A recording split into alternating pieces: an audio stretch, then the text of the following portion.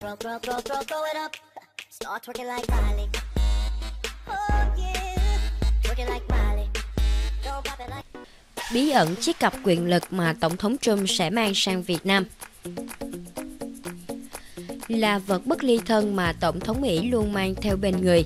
Vali hạt nhân là biểu tượng cho sức mạnh quân sự cũng như trọng trách to lớn của người đứng đầu nước Mỹ. Chiếc vali này được gọi là football, được đặt theo tên từ kế hoạch chiến tranh hạt nhân tuyệt mật định dạng Dropkick do cựu Bộ trưởng Quốc phòng Mỹ Robert MC Manara khởi xướng. Cũng giống như những đời tổng thống trước, ông Trump được cho là đã nhận lại chiếc cặp quyền lực này, người tiền nhiệm trong ngày ông nhận nhiệm sở. Tại Nhà Trắng, nó sẽ được cất ở một vị trí bí mật. Còn khi ông Trump di chuyển khỏi tòa Bạch Ốc, nó sẽ được đặt trên máy bay trực thăng xe hơi và thang máy cạnh Tổng thống. Football bắt đầu xuất hiện trong nhiệm kỳ của Tổng thống John Kennedy sau khi khủng hoảng tên lửa Cuba diễn ra vào năm 1962. Kể từ thời điểm đó, chiếc vali quyền lực này đã trở thành vật bất ly thân với các ông chủ Nhà Trắng đồng thời là biểu tượng cho sức mạnh quân sự cũng như trọng trách to lớn mà vị tổng thống mang theo chiếc football này bên người. Theo một số nguồn tin, vali hạt nhân được làm bằng chất liệu titan siêu bền nặng 18 kg, kích thước 45 x 35 x 25 cm. Bên trong chiếc cặp này là mã kích hoạt hạt nhân để Tổng thống Mỹ có thể sử dụng trong mọi trường hợp khẩn cấp. Football thường được một trong năm đặc vụ thay phiên nhau mang theo bên mình. Các viên sĩ quan này sẽ luôn có mặt cạnh Tổng thống để đảm bảo người đứng đầu nước Mỹ có thể tiếp cận với chiếc vali quyền lực bất kỳ nơi nào. Dù đó là trên chiếc Air Force One, quái thú Cadillac One hay trong tại nơi làm việc. Chỉ riêng trường hợp khi Tổng thống ở nhà riêng, football sẽ được cất giữ ở một nơi an toàn trong Nhà Trắng. Dù Nhà Trắng chưa bao giờ công bố chính xác những gì có trong chiếc vali quyền lực này, nhưng theo cựu giám đốc văn phòng quân sự Nhà Trắng, ông Bill Goley tiết lộ, bốn vật dụng không thể thiếu trong football gồm một cuốn sách bìa đen dày 75 trang, in bằng chữ đỏ và đen, một quyển sách bìa đen liệt kê danh sách các hầm bí mật để Tổng thống ẩn nấu khi cần, một tài liệu 10 trang hướng dẫn Tổng thống cách thức vận hành hệ thống thông tin khẩn cấp ACE và một thẻ ra có kích thước 7,3 x 12 cm vào với mã xác định thường được gọi là biscuit, tức bánh quy. Trong trường hợp lựa chọn phát động một cuộc tấn công hạt nhân, Tổng thống Mỹ sẽ sử dụng đến cuốn sổ 75 trang được ví như danh sách đen, chứa các mục tiêu cần hủy diệt của đối phương và các lựa chọn phương án tấn công hạt nhân để Tổng thống Mỹ lựa chọn. Sau đó, người đứng đầu nước Mỹ sẽ xác nhận quyền tổng tư lệnh các lực lượng vũ trang bằng cách xử lý thẻ BQ chứa các mã số nhận dạng của vị tổng thống Mỹ, tức tổng tư lệnh các lực lượng vũ trang, người được phép ra lệnh phát động một cuộc tấn công hạt nhân. Người giữ trọng trách mang theo chiếc vali này là năm sĩ quan được tuyển chọn hết sức kỹ càng từ các vị trí cao cấp của quân đội Mỹ. Những người này sẽ được lựa chọn hết sức kỹ lưỡng từ các sĩ quan không quân và lực lượng bảo vệ bờ biển Mỹ, đồng thời phải trải qua quá trình điều tra chi tiết về tiểu sử và các mối quan hệ.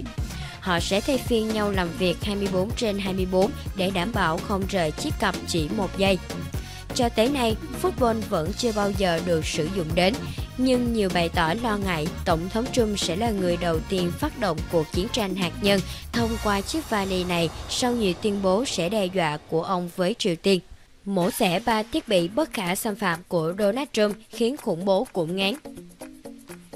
Trong số các nguyên thủ quốc gia có thể nói, Tổng thống Mỹ là người được bảo vệ nghiêm ngặt và chặt chẽ bậc nhất trên thế giới. Trong các lần công du quốc tế lẫn công tác trong nước, các đời Tổng thống Mỹ luôn được bảo vệ với một chế độ chuẩn không cần chỉnh. Nhưng một trong số những người được bảo vệ nghiêm ngặt nhất không ai khác chính là Tổng thống Donald Trump. Một trong những mục tiêu hàng đầu của các tên khủng bố, bản thân ông Donald Trump cũng ý thức được điều này, nên mọi chuyến đi của ông đều có những điều sau đây.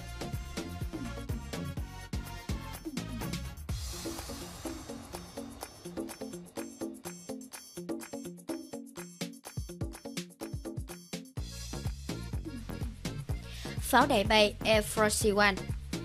Air Force One là thuật ngữ nói về chiếc chuyên cơ có nhiệm vụ chỉ chuyên chở Tổng thống Mỹ trong các lần công du. với số liệu 28.000 và 29.000. Chiếc máy bay này ra đời vào năm 1945 khi các cơ quan an ninh lo ngại khủng bố sẽ tấn công nếu Tổng thống di chuyển bằng máy bay dân dụng thông thường. Thiết bị này còn được biết đến với cái tên là Nhà Trắng trên không, pháo đài bay, bởi những tính năng có 102 của mình. Air Force One được trang bị 4 động cơ phản lực General Electric CF6 80C2V1. Thiết bị có thể đạt tốc độ tối đa tới 1.126 km trên 1 giờ, nhanh hơn nhiều so với máy bay thương mại. Trần bay tối đa 13,7 km. Tất cả thông tin kết nối giữa máy bay với mặt đất đều được mã hóa để đảm bảo an toàn, đề phòng trường hợp bị đột nhập và đánh cắp dữ liệu phá hoại máy bay. Bên trong Air Force One được trang bị 85 điện thoại thông thường và điện thoại vệ tinh, radio, máy phát, máy tính kết nối Internet. Ngoài ra, chúng còn được trang bị 19 TV thông minh và các thiết bị văn phòng khác kết nối với vệ tinh của Mỹ trên các trạm không gian, cho phép Tổng thống Mỹ quan sát trao đổi mật vụ, chỉ huy quân sự ngay trên bầu trời.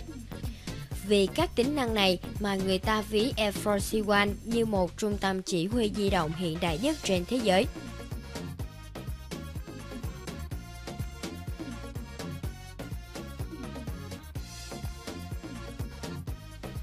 Chưa dừng lại ở đó, Air Force One còn có khả năng chịu được bức xạ điện từ và phóng xạ từ vụ nổ hạt nhân.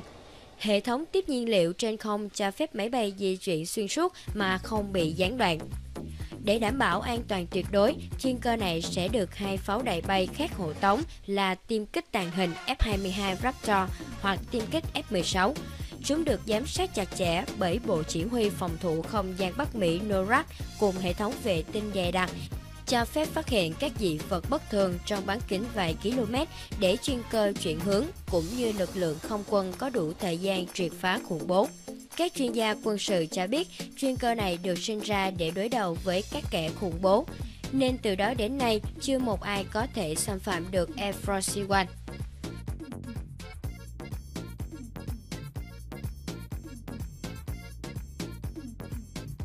Bus siêu xe quái thú Kể từ khi lên nắm quyền, Tổng thống Donald Trump đã ngay lập tức cho chế tạo chiếc xe này và trở thành công cụ quan trọng nhất trong các chuyến công tác.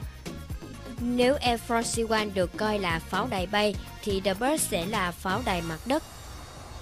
Cadillac One, cơ quan mật vụ Mỹ gọi là The Bird, chiếc xe đắt nhất thế giới từng được chế tạo. Chiếc quái thú này được gọi là The Bird 2.0, được nâng cấp từ chiếc xe của người tiền nhiệm Barack Obama. Có trọng lượng lên tới 9 tấn, cho phép chúng đứng vững trước mọi loại vũ khí tàn phá. Bánh được cho là sử dụng loại lớp mới thường dùng cho xe tải vừa và nặng gia cố thêm các bố thép để giúp xe tiếp tục di chuyển ngay cả khi lớp bị bắn thủng. Phần đuôi của The Bird mới ngắn hơn một chút so với phiên bản cũ. Quái thú mới có 3 cửa sổ lắp kính chống đạn, trong khi phiên bản cũ có tới 4 cửa sổ. The Boss 2.0 có lưới tản nhiệt, cụm đèn pha tương tự các phiên bản thương mại hạng sang mới của Cadillac. Thông số kỹ thuật của The Bus được bảo mật rất kỹ vì lý do an ninh. The Bus 2.0 sẽ được áp dụng các công nghệ tối tân về giải pháp bảo vệ, thiết bị an toàn, truyền thông và các tính năng bí mật khác. Đơn giá mỗi chiếc The Bus 2.0 khoảng hơn 1,5 triệu USD, đưa nó trở thành chiếc xe đắt nhất từng được chế tạo cho Tổng thống Mỹ tàu bay vận tải hạng nặng Boeing C-17 Globemaster 3.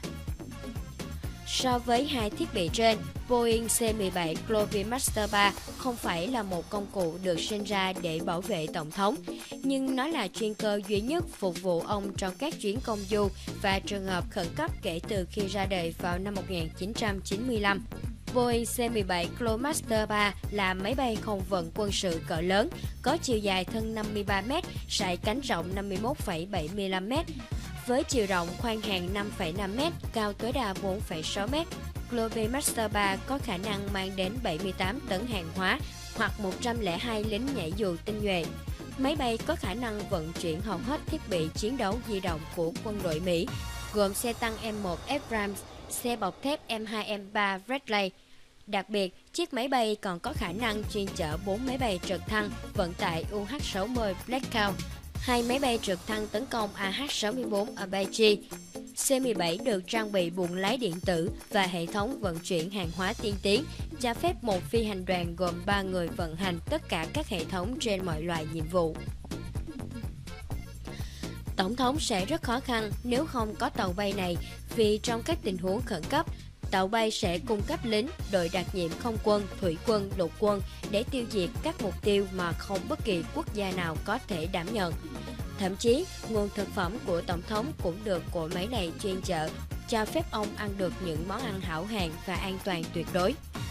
Tổng thống Donald Trump là người có một gia thế và cơ ngơi xa hoa, nên việc ông đầu tư cho sự an nguy của mình là điều không quá khó hiểu. Thực tế, để bảo vệ Tổng thống Donald Trump có rất nhiều đội cận vệ quốc gia. Tuy nhiên, các cỗ máy trên luôn được cho là thiết bị sống còn của Tổng thống vì chúng giúp che chắn an toàn tuyệt đối trong mỗi lần xuất hiện của ông ở bất cứ nơi đâu.